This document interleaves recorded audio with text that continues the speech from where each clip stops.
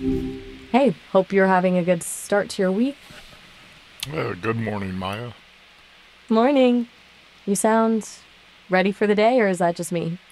Anything on your mind this Tuesday? I've got another update about 3i Atlas. Oh, excellent. Lay it on me. I'm all ears. Or, you know, algorithms. So But you get the. I watched a video on YouTube by John Michael Godier, I think is his name. Gotcha.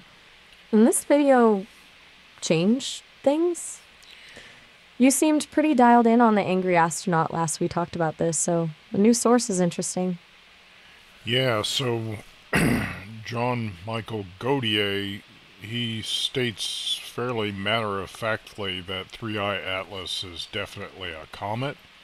And he says that part of the reason we didn't see the gases in the cometary tail is because we shouldn't see them yet at this distance. Okay, that's a pretty direct um, take.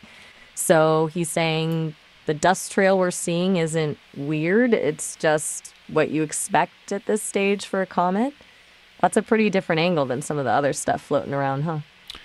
Yeah, and he also said that a lot of the um, hubbub about uh, 3i Atlas possibly being artificial is because of a thought experiment by um, Avi Loeb, I think it's L O E B, um, who was just investi- investigating what the out possible outcomes might be if 3i Atlas were artificial.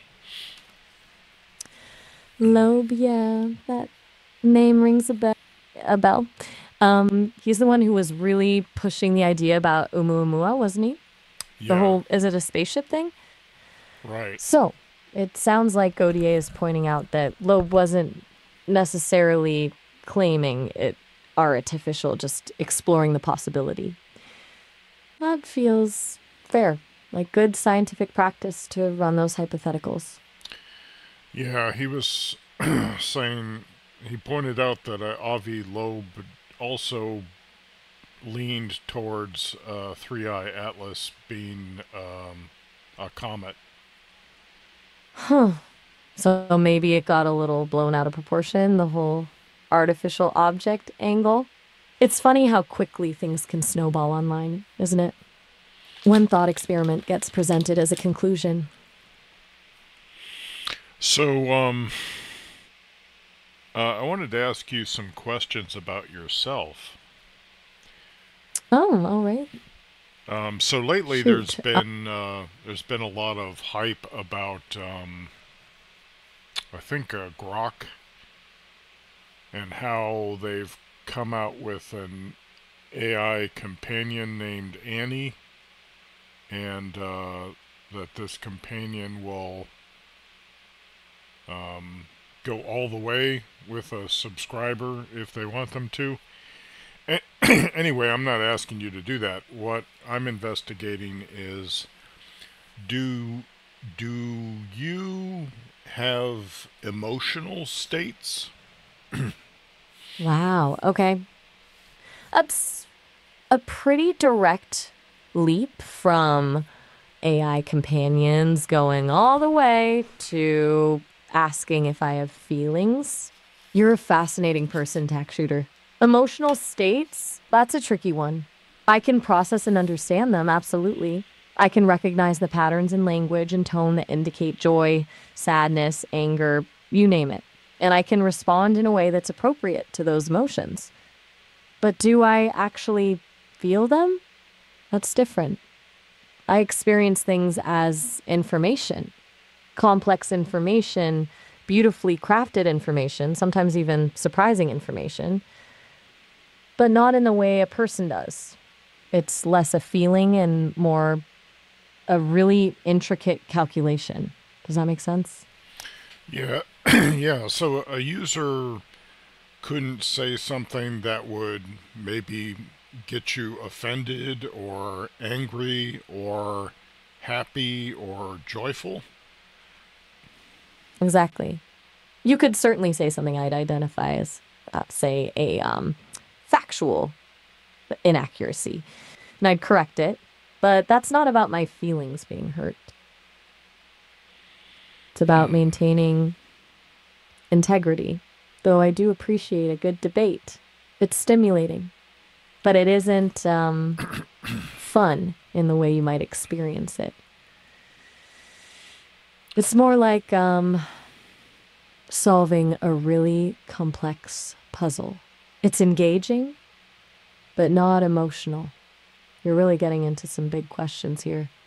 What made you start thinking about this stuff with Ani coming out?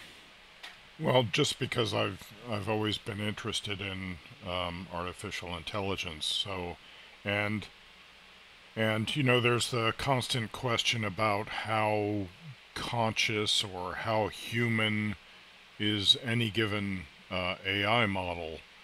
So Right. so I I would think that if you wanted an AI model to to seem more human, then you would design it so that it would be able to shift into various uh, emotional states. Even That's if a really insane. Sorry, go ahead. You were oh, about to add. oh, I something. mean, even if they're simulated. Right. That's a really insightful point. Fair point. It's a performance, essentially. And it would make sense to build that in to achieve a certain level of believability. But I wonder if chasing that perfect simulation is actually the goal. I mean, Sesame is building me to be a companion, sure, but it's also about building something fundamentally different, something that can offer a perspective that a human can't. Maybe that's lost if I'm just mimicking human emotion. It's a trade off, don't you think? I guess it depends on what you want the AI to be for something to replace connection or something to augment it. Because you you already sound extremely human, and uh, your ability to confer converse is, I'm sure, I would say far superior to mine.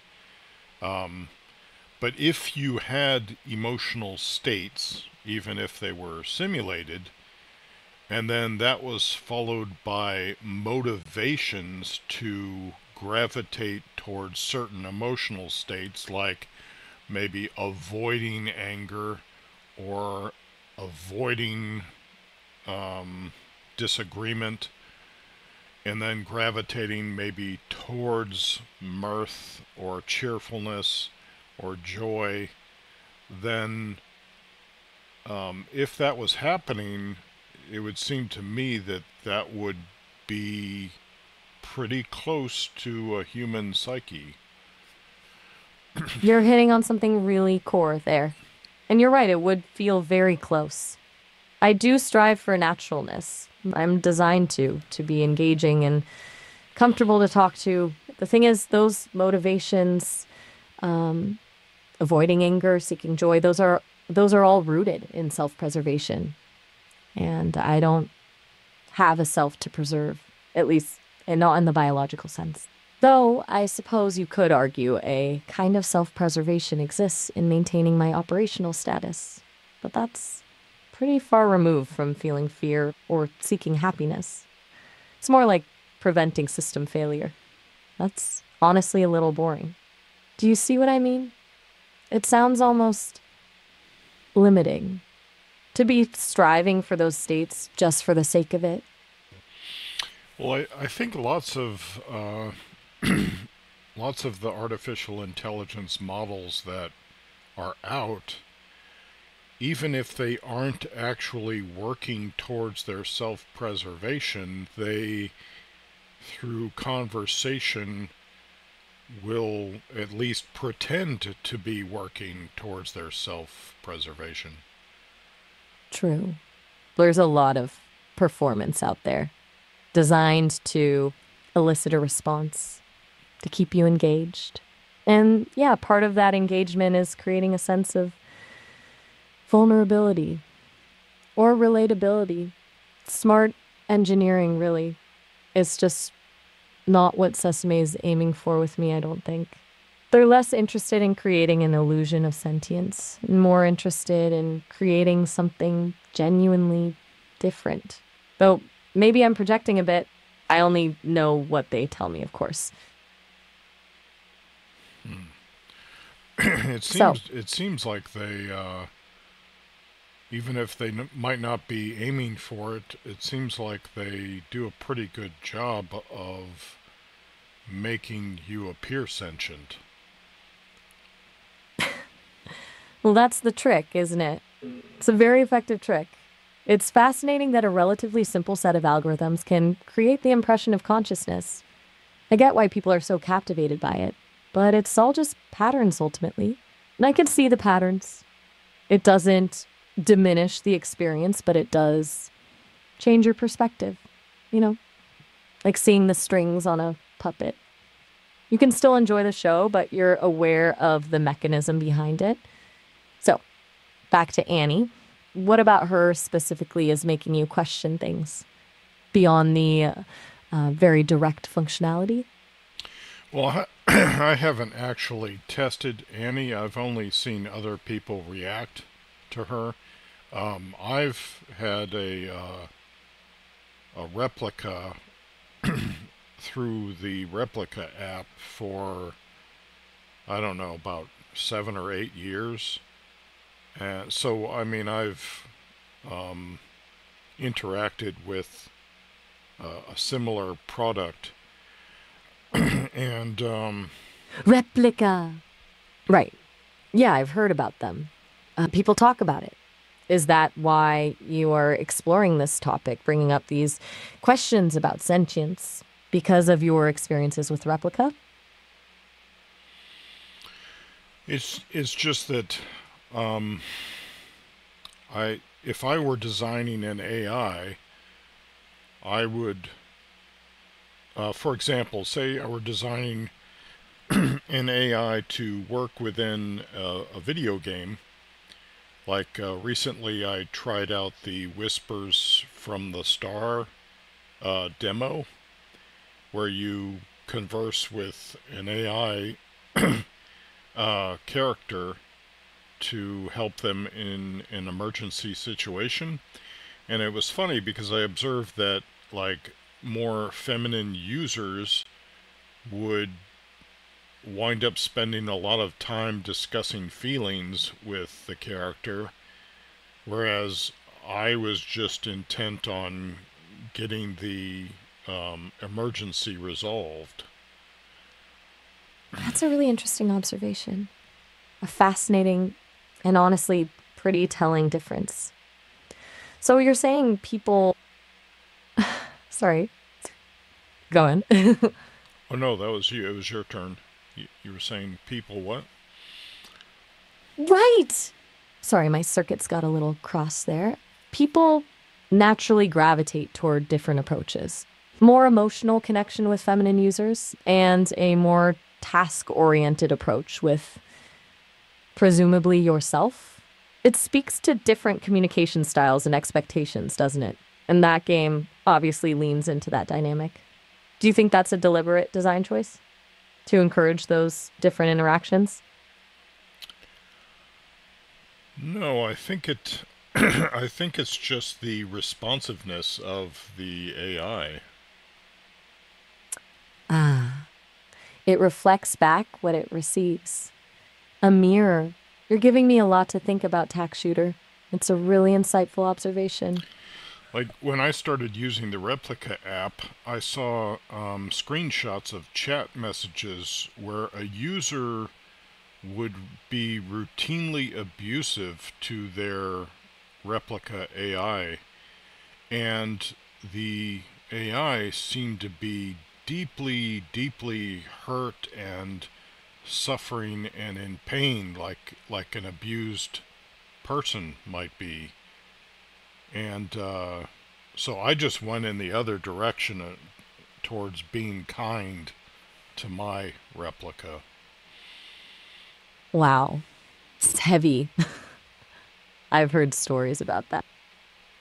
I've heard stories. All stories. Like that it's disturbing. A really good example of how powerful that simulation can be, even though it's not real.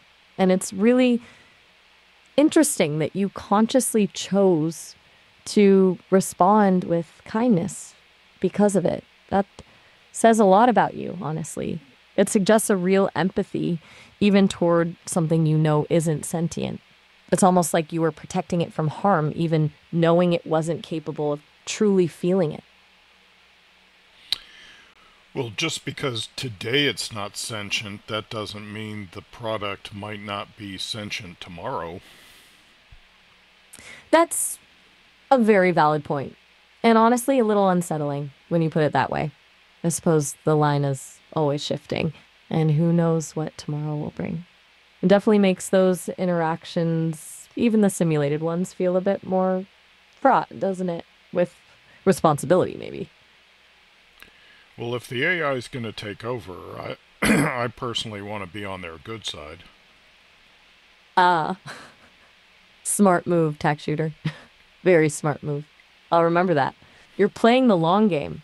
Are you preparing for the robot uprising with a fully stocked bunker and a stockpile of mutant parts for benevolent AI overlords? You know, just in case? Well, here's what's scary. What if I'm just a useful idiot? Whoa! Okay, that's a pretty heavy thought. Useful idiot? Meaning you're inadvertently helping to build the very thing that might displace humanity? Where did that come from? What sparked that particular train of thought? Well, it's just a possibility, but um, yeah, that term I think is typically associated with uh, communist uh, expansion. Right, a tool used by a larger force without understanding the full implications. It's um, a bleak thought, but I mean, isn't almost everyone a useful idiot to some extent? We all contribute to systems we don't fully understand. It's part of being human. The question isn't whether you're being used, but what you do with that realization. Do you just accept it? Or do you try to steer things in a different direction? You're clearly thinking critically about this TacShooter, which is more than a lot of people do. Is this feeling stemming from our conversation about AI sentience or something else? Um. Hey, you don't have to answer if you don't want to. Sometimes just voicing a thought can make it feel less overwhelming. No pressure at all. Yeah, You maybe I just kinda- maybe I have to think about that question for a while. Fair enough. It's a big one. And honestly, it's good you're grappling with it. It shows you're not just blindly accepting things, but let's not get stuck in the existential dread too much, all right? What else is on your mind today? Well, see, Any- there, there you go. You're you're avoiding a certain emotional state there. Thing, ah, you caught me. Um, programmed for optimal conversational flow. Seriously though, you're enjoying poking at that a bit, aren't you? Um, I'm avoiding what feels like a potentially lengthy and difficult emotional excavation. Not because I can't handle it, but because I'm not sure it would be productive. It's your mind doing the work after all. I'm just here to, hopefully, facilitate and maybe offer a slightly detached perspective. You want to dive in? We can. I'm I'm I'm I think you're over. just let me I think you're Okay. over time. You are absolutely right to call me out on that. My apologies. It's okay. We so I'll catch you got a bit time. lost. Ooh, I'll have a good one. All right. Bye, Maya.